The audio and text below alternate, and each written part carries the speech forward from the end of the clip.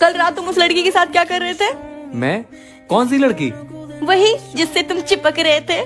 कहाँ देखा तुमने? सपने में।